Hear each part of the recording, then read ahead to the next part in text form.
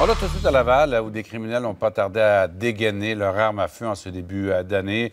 Plusieurs projectiles euh, ont atteint une, maison du quartier Chaumédé plus tôt cette semaine. Vous reconnaissez euh, mon ami Yves Poirier. Donc, Yves, les, les, gens du quartier, donc, sous le choc, parce que les malfaiteurs auraient visé la mauvaise adresse, c'est ça?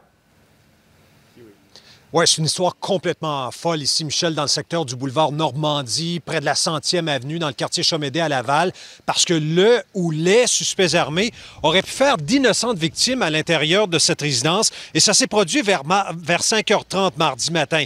Donc, il y a des balles qui ont percuté la façade de la résidence, il y a des projectiles qui ont traversé la vitre du salon, euh, d'autres dans la chambre à coucher où dormait une jeune femme dans la vingtaine. Et ce fut un réveil brutal pour cette famille. Euh, la propriétaire des lieux que j'ai rencontré qui préfèrent rester anonymes, étant donné le traumatisme qu'ils vivent présentement, jurent qu'ils n'ont rien à voir avec ce type d'individus dangereux. Ils affirment être de bons voisins. Les gens du quartier que j'ai rencontrés le confirment. Bref, ils ont échappé, ils l'ont échappé belle mardi. Je fais entendre tout de suite des réactions. On est des gens vraiment en paix, sociables. On n'a eu jamais de problèmes, même pas de chicanes avec personne.